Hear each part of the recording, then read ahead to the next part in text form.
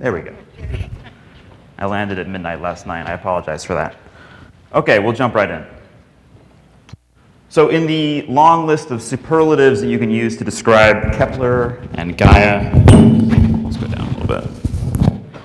Um, I think stellar rotation will be one that the people in this room will appreciate for a generation. Before Kepler, uh, we knew, I would say broadly, the rotation of like a thousand, a few thousand stars. It was hard work, V sin i's, and for a handful you could do phase curves. With Kepler, uh, thanks to the incredible precision and years-long photometry that's available, we can take something that looks like this little animated rotating star, and we can transform it into a rotation period. Uh, so the thesis work by Amy McQuillan working with Suzanne Aigrain, this would be about Cool Stars 18, uh, showed us more than an order of magnitude increase in the number of stars with rotation periods available. Uh, so here we have um, the rotation period on the vertical versus the uh, implied mass from the kick, from the Kepler input catalog. 34,000 stars. Uh, and a diagram I'm sure we'll see uh, throughout the week um, is, is this sort of manifold that we expect that stars perfect that stars uh, as they age should slow down they should lose angular momentum and sort of march up this manifold uh, we have handfuls of clusters sort of before and during Kepler that we could use to calibrate this surface. Um, and this is the so-called gyrochronology that we've heard about and we'll hear about again uh, with Gaia later uh, today. Uh, so that implies that a star should sort of move vertically in this space, that a star, here say a M dwarf, stars that people in this room care about, uh, should march upwards in this diagram and in principle, we could imply ages for tens of thousands of field stars directly. This is the, the dream, this is the promise of gyrochronology that many people in this room are working hard to fulfill. Um, now, there's a lot of interesting structure in this diagram. The sun is here uh, near sort of this conspicuous edge in the diagram, uh, which we can talk about. Um, there's, see a little better here, this interesting structure as the M dwarfs seem to tip up here. Uh, there does seem to be an upper limit. There's lots of very rapidly rotating stars here. And I will draw your attention to further uh, an interesting sort of like bifurc bifurcation here, uh, a split uh, in the distribution. That's what I'll be talking about today. This was discovered um, in Amy's initial paper in 2013, just for the M dwarfs, that indeed the period distribution was bimodal, uh, that there was a slower and, and more rapidly rotating chunk here, about evenly split uh, there's also the very rapid rotators, which sometimes is called bimodality here, the very rapid rotators in the hours to a day period. So there's a bimodality here, somewhere around 10 to 20 days. You can see it again, the little split here in the distribution. The mystery deepened a little bit uh, when they extended the sample to all of the Kepler sources, uh, and that this bimodality, you can see it in these clumps here of uh, range of the light curve versus period, you can see it for the M dwarfs, you can sort of see it for the K dwarfs, but by the time you get to the G dwarfs and the F stars, uh, there's no evidence of a bimodality. This is an interesting mystery. Two possible explanations were presented. Uh, the first is that it represents a variation in the star formation history. This is arguably the simpler explanation. Gyrochronology must work, and therefore this bimodality represents a bimodal star formation history. The second, uh, and though it seems a little out of hand, it's uh, not totally unreasonable, uh, is that this modality represents a new unknown phase of stellar evolution, uh, some sort of spin down phase or Rossby number that is uh, jumped through quickly. Uh, and this uh, is not completely unreasonable to expect, especially considering the observation that it was only the K and M dwarfs. Maybe they are special, and that the G dwarfs were tracing the star formation history. So how do we tell these two scenarios apart? Um, there's a few ways to poke at them, and that I will discuss today. Uh, do we actually see the bimodality in F and G stars? I'm burying the lead here a little bit. Is the bimodality everywhere? You need something like Gaia. And can we connect this feature to other age indicators? Okay, so with Gaia DR1, which some of us haven't quite forgotten, um, we were able to filter out subgiants that were contaminating this sample. So there was a lot of these subgiants in Amy's original sample that the KIC uh, mistakenly identified as dwarfs. And so this uh, period histogram here before the Gaia filtering and after we see nicely these G dwarfs actually do show a bimodal rotation period distribution. And this age, this dip here, corresponds to something like 600 million years uh, depending on what flavor of gyrochronology model you adopt. Uh, so that's the first test. Uh, the F, G, well, maybe the F, the G, K, and M stars all show a consistent bimodal gap. Now that was Gaia DR1. Of course, we are now gloriously in the Gaia DR2 era. This is the full catalog of uh, Amy's rotation sample, 30,000, 34,000 stars with good Gaia distances uh, and parallaxes, of course. Uh, and you can see lots of interesting structure here, the subgiants, there's binary stars up here. There's an incredible, glorious detail in this diagram. Um, I'll just brutally grab a box of only the clearly single main sequence stars. We'll throw out all these interesting subgiants. We'll throw out all these binaries, though I invite you to come talk to me about those. Um, and we're left with about 16,000 stars that are obviously single-looking main sequence stars.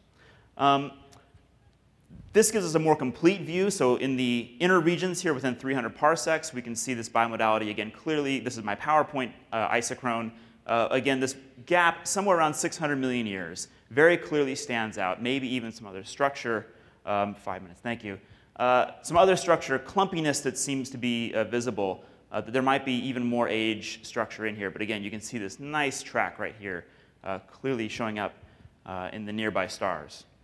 Now, Gaia doesn't work, DR2 doesn't work just for the inner uh, 300 parsecs. We can explore this as a function of distance. And we can see that as we march out, okay, within 500 parsecs, you can still kind of squint and see this little gap, maybe in the 5 to 600 parsecs, and then it starts to go away um, when you get out here towards a kiloparsec.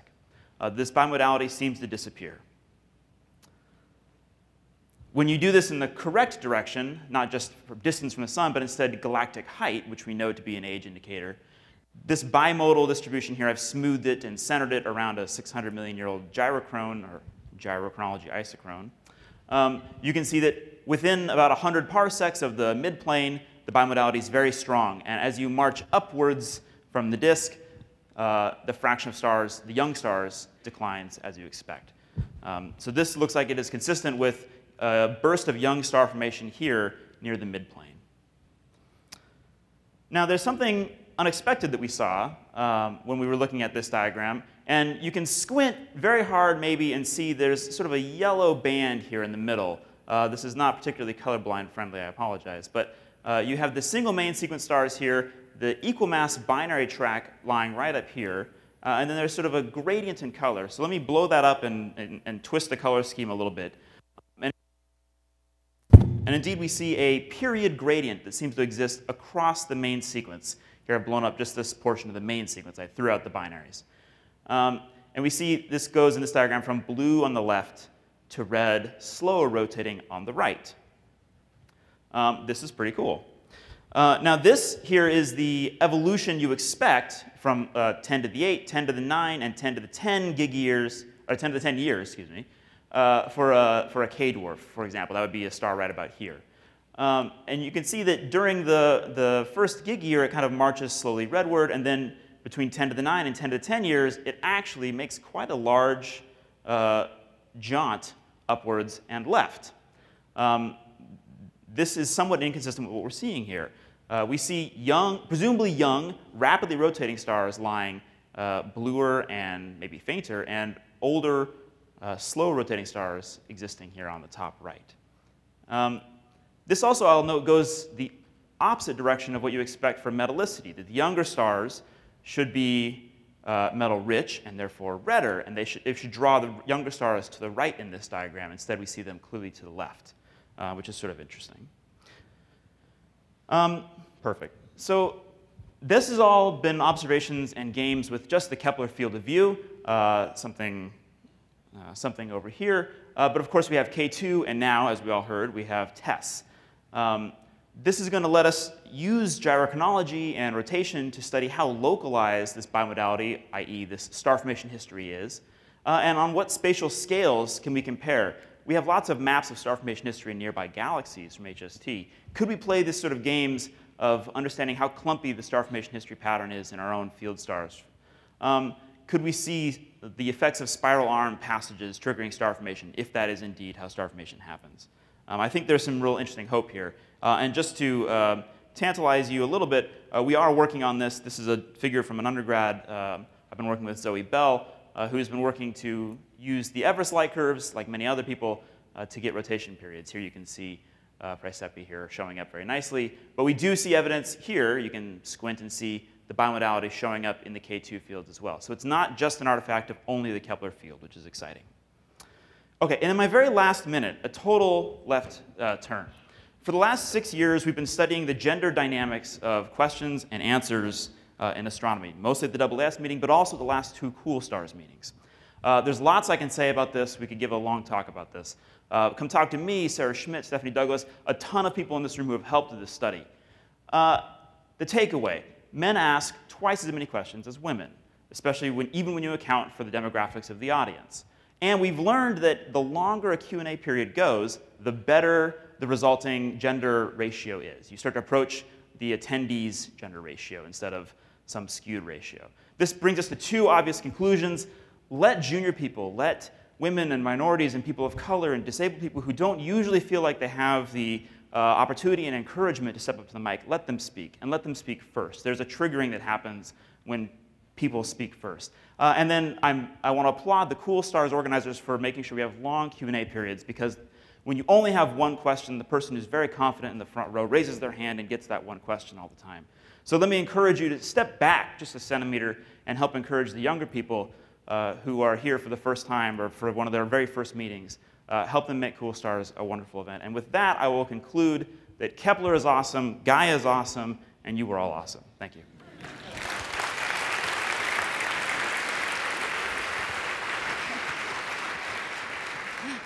Thank you, and I must say that the directions to the chairs said exactly that. Perfect. So, but we're looking for hands, and that's why I'm going to talk for a while, so that I can find, yes, there's one at the back, white dress, right there. hey, Jim, thanks for a great talk. Um, I'm familiar with this bimodality idea in uh, Elizabeth Newton's work too, and there it seemed to correlate with, with H alpha emission. So you mentioned other age indicators, but um, I, I, wish you had more time to speak on it. Are you looking for other spectroscopic age indicators to sort out whether um, whether that kind of signature is also present in the higher mass stars? Yeah, there's been evidence of things like Vaughan-Preston gap and other kinds of bimodalities and structures that have been indicated by activity previously. I think, and Elizabeth can correct me about this if I'm wrong, I think her bimodality represents the, the chunk of very rapidly rotating stars here that are quite young, uh, and the sort of field age stars here um, that are older. So really there's sort of three clumps. There's a very rapidly rotating clump here. Um, there's these two branches of the field star population. Um, but that's in the sort of several hundred million year uh, range. So I, I, believe that's where most of the H-alpha structure you see comes from. These are all H-alpha active, chromospherically active, um, and that most of these, well, I don't know, when you get out here, it's an interesting debate. Most of these are chromospherically inactive. There's one over there. Yep. Um, thank you for this uh, talk. Identify yourself, please. Okay, sorry. Tsevi Mazeh from Tel Aviv University, and uh, I was very pleased that you used our catalog of uh, period that we derived from Kepler, and I just wanted to ask whether your derivation of periods using the same autocorrelation technique, so one can compare the results or the or the yeah, what I've been showing is um, is exactly as Amy published it, uh, the auto the autocorrelation, her best autocorrelation function periods. Um, in the follow-up work we've been doing with K2, we've been doing a lot of comparisons between Lomb-Scargle and autocorrelation. Uh, and you can chat with me and Ruth Angus about uh, what our plans are for, for doing it right, or at least sort of right. Okay, two more, and then we'll have coffee. Yes. Okay, my name is Saskia Hekker from the Max Planck Institute for Solar System Research. Um, I have one and a half questions. So here you say that uh, your conclusion that, that is that it, this dip implies a dip in star formation. My question would be, what would cause this dip in star formation, and are there other uh, scenarios than the two you listed here that you can think of? Um, what would cause the dip in star formation? I don't know.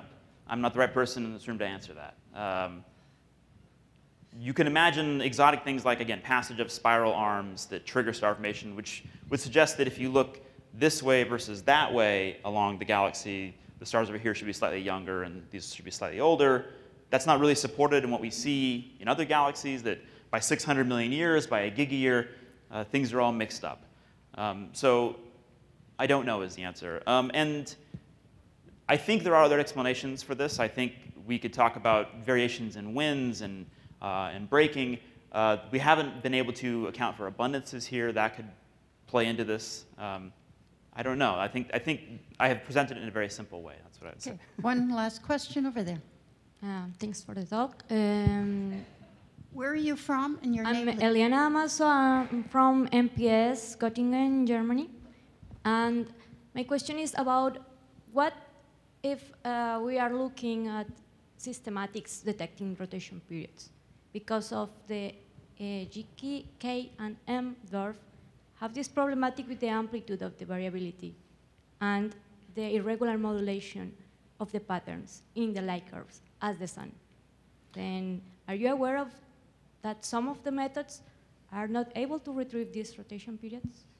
Uh, we definitely do see some interesting aliases. Uh, there, the autocorrelation function tends to do a little better in terms of not picking out the half period or the double period, uh, but it's not perfect. Thankfully, the bimodality doesn't, uh, it doesn't show up at a, at a horizontal clump, which would be suggestive of a Kepler systematic, but K2 has a lot more systematic structure that we have to worry about. So I'm much more concerned there about seeing clumps uh, at all masses at fixed periods. Uh, and then, as, as, I think you suggested, there's, there's a bias that you're always going to see. Uh, you see almost all of these rapid rotators because they're easy to see. The spots are large. By the time you get down to solar age, the spots are very small. Uh, so we don't necessarily have a complete picture. It's very hard to invert this into a true star formation history because you're missing 60% of the stars out here or something, right? You're missing some large fraction of the stars as a function of age, uh, simply because they get fainter and harder to measure.